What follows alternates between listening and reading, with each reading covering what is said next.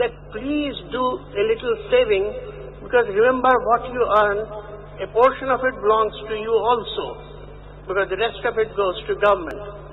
So ladies and gentlemen, I wouldn't tire the people with the, with the, these prosaic things. They like more lively things from Mr. Palkhivala who will castigate the government right and left and they will be quite happy. I'm very happy to be with you here today and as I said, I shall not be speaking again. Thank you. I now call upon Mr. Palkhivala to give his address.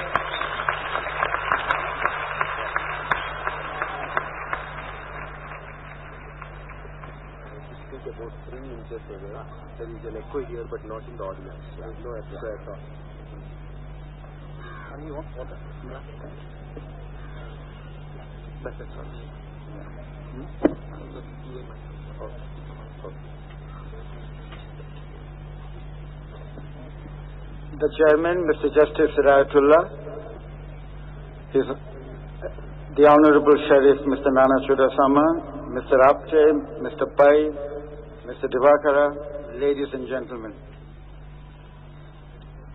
I'm very grateful to the previous speakers for their generous, gracious words about me. There is a pleasant custom at annual general meetings of companies, which is a great time saver, that you take the notice calling the meeting as read. And I shall take, take it as presumed conclusively that you are familiar with the nuts and bolts of the budget, which you must have read about in the papers.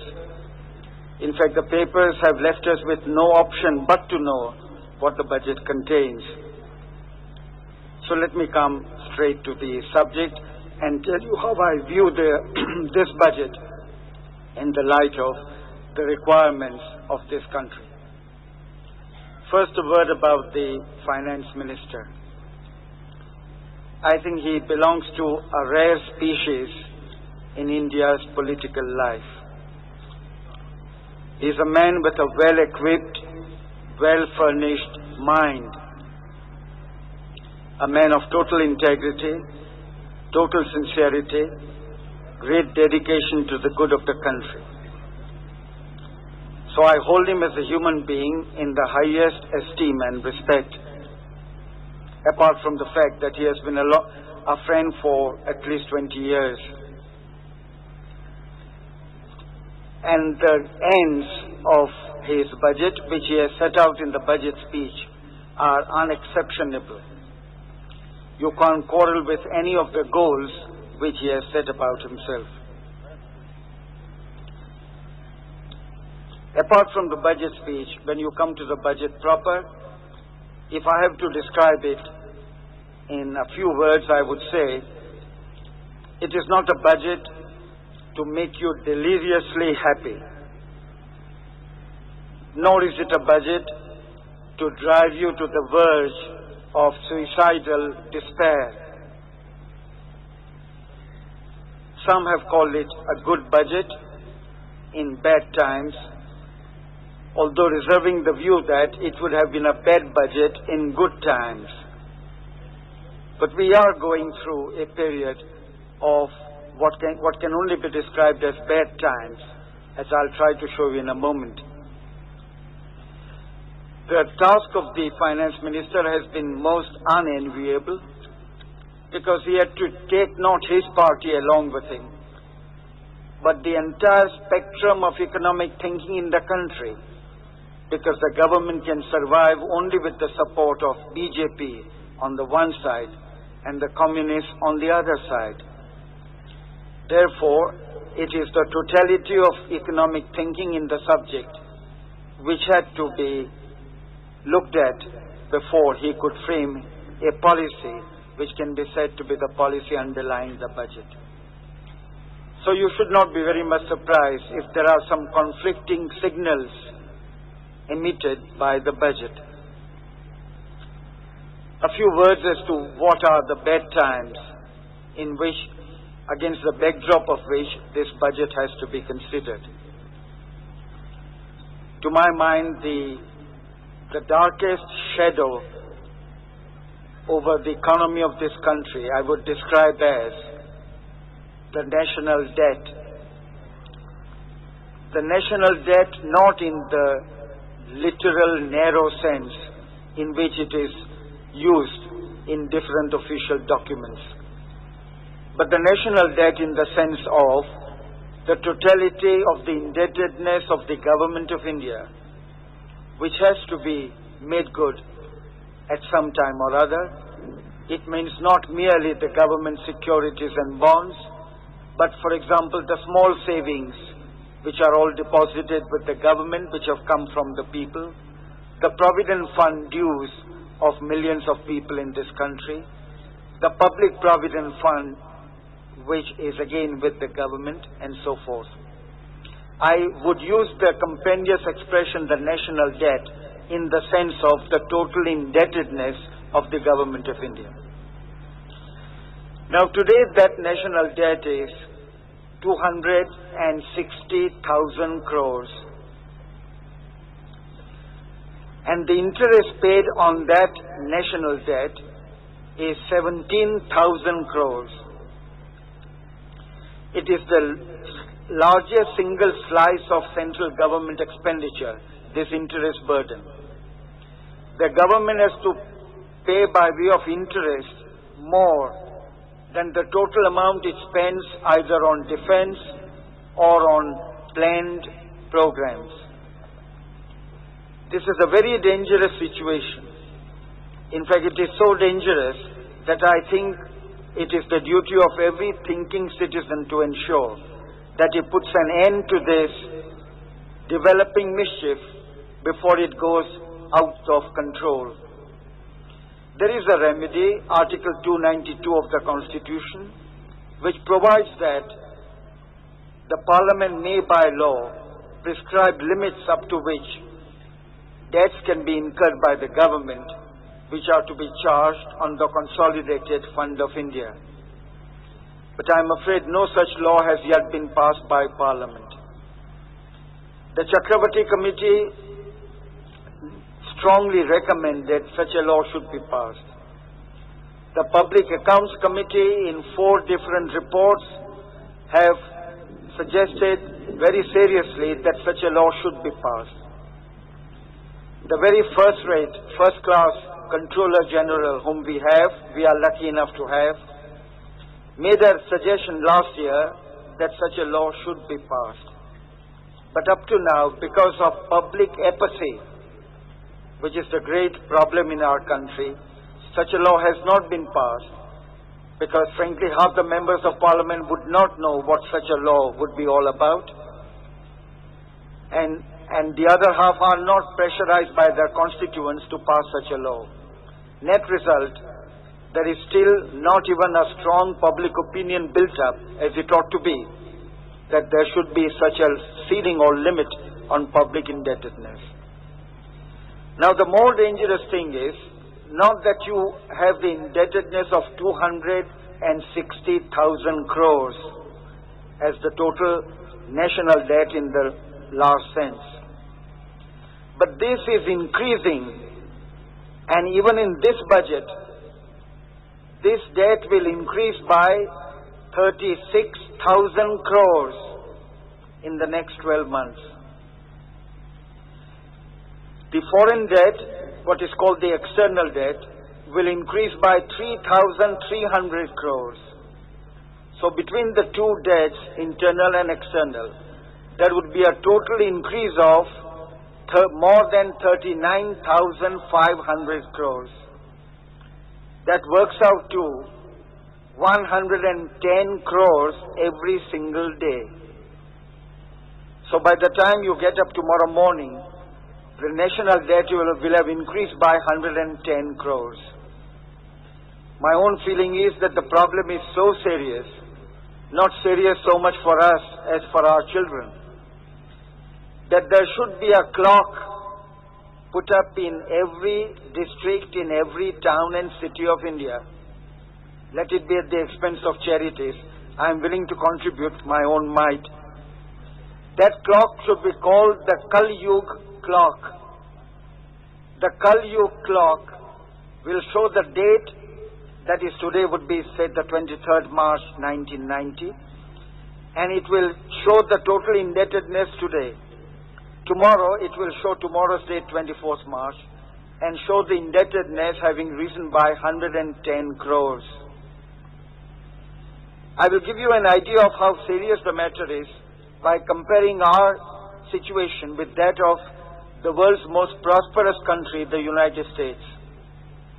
In the United States, there is a similar clock put up in New York. It is called the Doomsday Clock. And it shows how every second the national debt of the US government increases by $8,000. If you take it per second here, our national debt increases by more than 11,000 rupees per second. Now on the basis, which is a fair one, that what is the, a dollar to the United States is a rupee to India. We are going further than the United States in our compulsive borrowing spree. $8,000 there, 11,000 rupees per second in India. How it is unimaginable. To me, it's a matter of total surprise how ministers can yet carry on with this kind of activity and yet not think of curtailing governmental expenditure apart from saying that they propose to do it. But the fact that they say it is proposed to be done has been said for the last 40 years. There has never been a year in the last 40 years when the government, the budget speech did not say that they want to contain, to limit the governmental expenditure. But it goes on. You can't blame the finance minister alone because there are other, other ministries who have no sense of self-restraint. It is because there is no sense of, sense of self-restraint that I am suggesting a law to be made by Parliament. Now this Kali clock would bring home to the people what the gravity of the situation is. It is caused by two factors. One, the revenue account deficit of the government and secondly, the balance of trade deficit. The revenue account deficit arises from this, that the government lives beyond its own means and beyond your means and mine. the, for example, in this budget, by a man so good as Professor Madhu Dandavate, the revenue deficit that's the deficit on revenue account is no less than 13,000 crores. It is thought to be reduced to 7,200 by taking 5,800 from the capital account. That means the government will borrow 5,800 to pay for what would be the what would be known to economists as consumption. That is the ordinary consumption, that is the expenditure incurred on revenue account by the government. In other words, we are living on borrowed money year after year after year. It, it did not happen before 7980, but since 7980 it has been continuing and every year it is aggravated with a vengeance. But people are not serious enough, they don't realize what damage you are causing to the national economy. The USA can afford to bear the burden. Can this poor country afford it? The balance of trade deficit I have dealt with. Let me come to the, I'm sorry, the balance of trade deficit, let me come to after the revenue account deficit of the government. The balance of trade deficit arises from the fact that we import goods worth 33,000 crores as we did in this year and we export goods worth 28,000 crores. So there is a deficit of 5,000 crores. But it's not the deficit of one year. It has been going on year after year after year.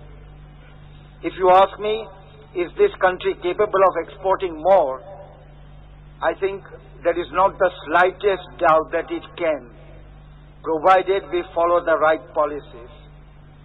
This country, I'm never tired of saying, is not poor by nature, but it is poor by policy. You have some of the finest brains in this country, some of the brightest minds. Instead of quoting my own words, let me quote the words of Ryrie, Sir William Ryrie, the Executive Vice Chairman of the International, Monet- uh, International Financial Corporation. He said India has some of the most dynamic entrepreneurs, some of the most creative business leaders, some of the sharpest commercial brains, and yet this country has to remain in this poverty because of the foolish policies we pursue and which we will not give up. In fact, the time has come when we will have to work to make this nation rich against the wishes of our leaders. Because they don't seem to be interested in enriching this nation. Somehow there is something in our culture which makes us believe that poverty is something glorious and great. The net result that I, I'm quite happy to see my fellow countrymen very poor while I myself live in reasonable comfort. Now, your, our position as, a, as an exporting nation was very high in 1950 when we started as a republic. We were the 16th in the world. Today we are the 43rd. We had 2.2% of the world trade. Today we have 0.43% of the world trade. That is less than half of 1%. The Chancellor of the Exchequer said the other day in the House of Commons that India is a good example of how not to run the economy of a country. He said, here is Hong Kong, which has only 5 million people as against our 840 million. That means it has less than 1% of India's population. Its total land area is 0.03% of India's. That is 3 upon 10,000. It's only one city. But its, in, but its international trade is twice the trade of India. Imagine one single port having more international trade than all the ports of India put together, including your Bombay and New Bombay and Madras and Calcutta and the rest. Can you, doesn't it make you wonder whether we are not playing our part in ensuring that the right policies are followed by the government? Because as Abraham Lincoln said, it's without the sentiment of the people, nothing can succeed.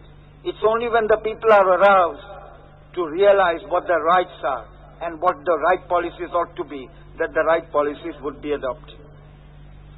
So the greatest problem, the greatest shadow is the national debt caused by this balance of payments deficit and the revenue account deficit.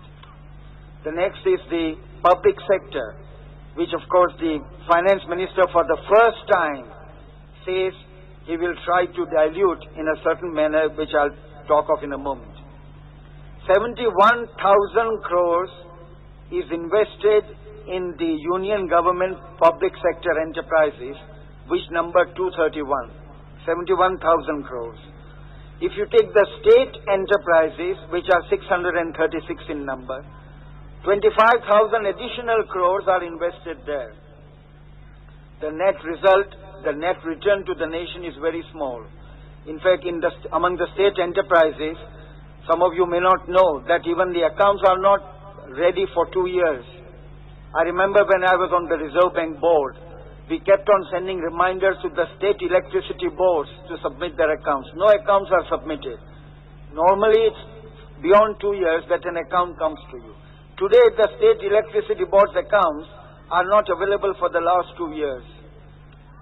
So if you are asked what is the return or what is the absence of return on the capital employed, you would have to give the figures more than two years old. Why is this tolerated? How is it that Tata Electric companies make a profit working under restrictions as to what their profit can be? And the state electricity boards, every one of them works at a loss throughout India. Why is it that private operators are working their buses and their trucks at a profit? And the Delhi Transport Authority, government owned, is making a loss of between 100 and 200 crores a loss every year. Is there no accountability? Will the people, one day there will be a revolution in this country. I when I, I remember when JP, Jayaprakash Narayan used to talk of a total revolution, I said to myself, but why is the man getting so agitated? As I grow older and I come to the end of my life, I tell myself perhaps Jayaprakash was right. What is the other answer? How will these poor people ever see daylight if you keep on pursuing policies which are so dead against the interests of the poor man? It's not as if the minister, for example, Professor Dandavate would not care for the poor. He would. He has a heart of gold. But the point is that the, the structure has become so fossilized that it is very, very difficult to change it. You need a drastic change which can only be by a revolutionary leader who can bring about a transformation in our habits of thinking. As, for example, in China they did, or in the Soviet Union they have in Gorbachev. A first-rate man, but thrown up by almost a revolutionary movement which has led to Eastern Europe being liberated, as you have just heard from Mr. Apte. The last point I would like to deal with by way of backdrop to the budget is the black market problem. It is true, in fact, I don't think there is a man here who would not be against the black market. I am dead against it myself, so please do not misunderstand me if I put to you certain aspects and facts.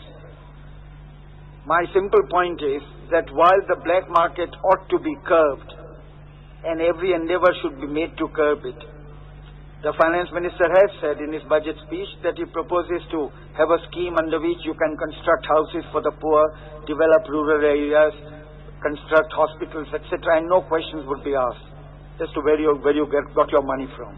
Other countries have done the same during, after the last World War. Belgium did it, France did it, and a number of other European countries.